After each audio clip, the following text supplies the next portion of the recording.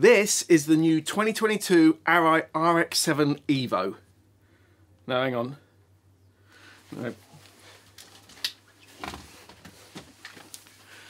This is the new 2022 RX7 Evo. No, I had it, I had it right the first time. This is the new 2022 Arai RX7 Evo.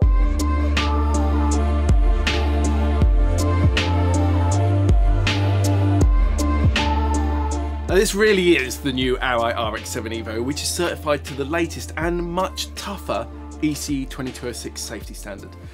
And this is the Arai RX7V, which was the previous model introduced in 2015 and certified to the old ECE 2205 standard.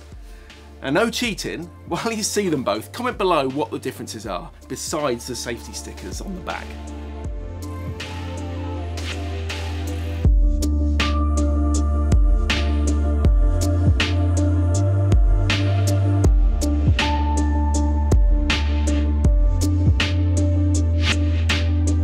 Get it? Right, well the cheek pads are the new design that we've already seen on the new Quantic. And they push in at the back now rather than the, the front, so they fit differently. Uh, and these two vents, these are new. Now they're channeled to these side exhaust ports, so as you get low pressure here, as the wind kind of rushing past them, it draws the moist air from the inside of the visor away from it and out through the back. And that's it. Otherwise, the vents are all the same, including the, the scoops and the diffusers. And the multi-composite shell, that didn't have to be changed at all for the RX-7 to pass 2206. And nor did the inner EPS shell, that means expanded polystyrene. And that's unique to Arai in that it's not made up of several separate parts. The line is still multi-density, like others from other brands, to deal with the different impacts of a crash and for comfort, but in Arai's case, it's a one-piece construction. That's harder and more expensive to make, but it's what Arai's always done. Now, some people say Arai's are old-fashioned because they never change. But Arai says that it uses state-of-the-art techniques, but sticks to its tradition of making what it thinks are the safest possible helmets. Arai's always claimed that it made helmets that exceeded the standards, not just met them. And while some of the older models didn't do great in side impacts during sharp testing, they did improve. And the fact that the RX-7V, which is now seven years old, passed the much tougher ECE 2206 standard with no changes means there might be something in that. If we look quickly at the new safety standards, there's obviously a limit to how much energy any helmet can absorb, but unless you hit something dead square on, there's a potential to keep a hell of a lot of energy out of the lid and your head. And it does that if it can slide through an impact rather than coming to an abrupt stop, which is why it's now part of the test method.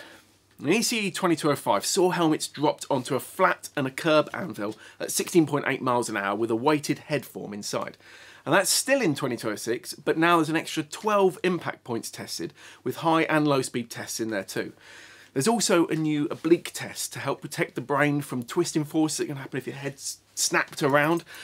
And the peak rotational acceleration in that is 10,400 radians per second. Now in this clip you can see how the helmet is spun as it hits that 45 degree angle, which is covered in abrasive paper to help it grab. And by the end of 2023, all helmets are going to have to meet ECE 2206. That doesn't mean you can't wear a 2205 helmet, that's fine, it's just that's the standard that will be coming in. Now, just like all the other Arais, there's no drop-down sun shield, and Arai has now admitted that it would probably sell more helmets if it did fit them but it still believes that it's safer to have the combined structure of the strong outer shell and soft inner EPS, so keeping them always touching everywhere. Thing is, the Schuberth C5 has a drop-down sunshield, and that does meet ECE 2206. But Arai says that its philosophy is to make the safest possible helmet with no compromises. Remember, any standards are a, a minimum requirement to meet. The thing is, though, obviously, this is where we have to take Arai's word for it, that it's better not to have that gap, as we don't know by how much difference the test results vary. It's got to be your call. I wear helmets with and without sun shields. You can fit Arai's Pro Shield, but I prefer to use a dark visor and carry a clear one with me. Um, but part of the reason actually is because I wear glasses, if I use a drop-down sun shield, I've got the plastic of my glasses, the plastic of a drop-down sun shield, the plastic of the pin lock, and the plastic of the visor. When I wear a dark visor, that's always when it's lovely sunny weather, you know, it's warm and everything. So I don't bother with a pin lock in that. So I've just got my glasses and the single sheet of plastic. So I'm not reducing the clarity. And obviously I always carry that clear one in case the weather changes. Now the RX-7 is intercom ready. And Arai says you can fit any brand you like because they don't have uh, an integrated uh, intercom manufacturer. Um, and there are sections of the foam in the cheek pads that can be removed to pop them in. Now the old one actually has the same bits in there that you can take out and I, I have just removed this Cardo PackTalk Bold from it because I didn't want to give away which was a new one at the start. I've only put a couple of hundred miles on the RX-7 Evo so far, but it has been excellent. This Arai is being promoted as a grand touring helmet now, but it's always been the flagship bracelet.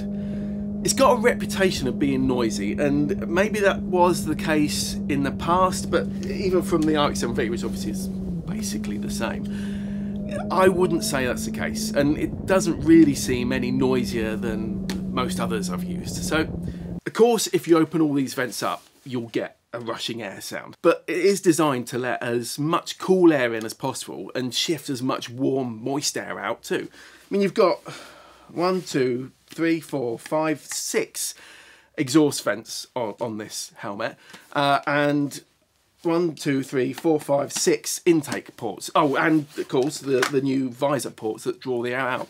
I just realised I missed one actually. There's another exhaust port here, so there's seven exhaust ports. One thing I would warn you is that if you have these intakes fully open, not at the half setting, while they work incredibly well, they're also big enough for a horsefly to bullseye its way in there. Ask me in the comments how I know. Now this one weighs 1,568 grams on my scales, which is not heavy and it's not light. What really matters in any helmet is aerodynamics, and there's no apparent drag when looking ahead or doing shoulder checks. It's very, very good. In fact, and I am I am being totally honest here, the fit is incredible. Uh, Obviously, that's subjective, it might not be for you, but because this is designed for the pressure of high speed on track, it fits perfectly snugly across my entire head, meaning it it feels like like it's part of my head. For me at least, it means I don't have any reminders that I've got the helmet on. Like, you know, the odd bit of movement you sometimes get, or the tiniest pressure point that remind you you're wearing it. It really is an outstandingly well fitted lid. But you know, we've all got slightly different head shapes, so you have to try one on. Obviously, this isn't a full review. I'll do a lot more miles in all weathers before that appears on bikesocial.co.uk website, but please do bookmark that page so you see the latest product and bike reviews, plus loads of advice and features as soon as we publish them. I don't do many product video reviews as you can't update them if anything changes, but you'll find our reviews on the site. Oh, and Google, of course. And uh, can you do me a favour and like this video, assuming you do like it? The jeans test I recently did shows just how much of a difference it really does make to the YouTube algorithm.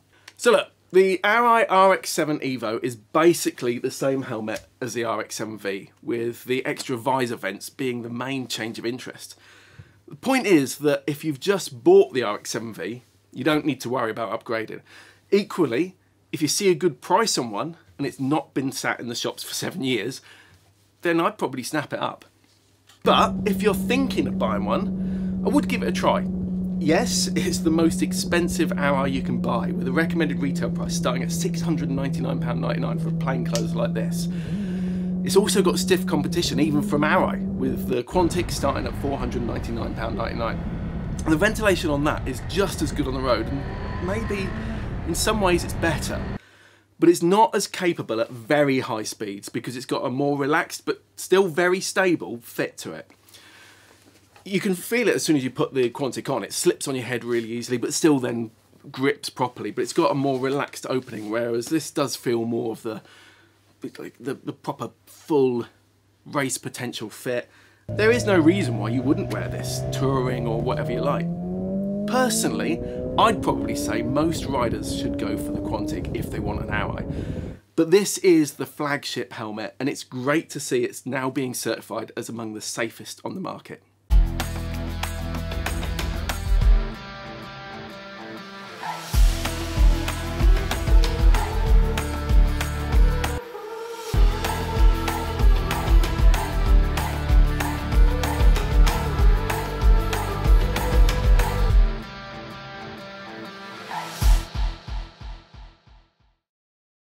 Okay, let's slowly do the visor change because I know some people hate it. There are easier ones out there like Shoei, Schuberth and HJC, but it doesn't take much practice to get used to it. Okay, so open the visor. You see these tabs on the side? I'm doing the same on the other side at the same time. Push those through. Now, because you've had the visor fully open, now as we bring it down, you can see how it pops into that red area there, and then it lifts away. To put it back, this is the critical bit. You must get that pin into that red zone there, and then push carefully here, push firmly, to make sure that the visor goes under the tabs. You won't break it, uh, but then as you do it, keep your finger, keep your pressure on that uh, brass bit, and there we go. Now it's locked into place. So then you put the side pod back on, do the same on the other side, check it. Check it opens smoothly, and that's it. It really is that simple. Finally, if you're struggling to open the visor from, uh, from locked down, you're meant to swipe up with your thumb, taking the lock with it, like that. Ah, see, I can't do it there. It's easier when it's on your head. You swipe up with your thumb, taking the visor with it. It does become second nature when you're used to it, but I would say it's still a pain in the ass when you've got the clutch held in and you're trying to do it with your right hand.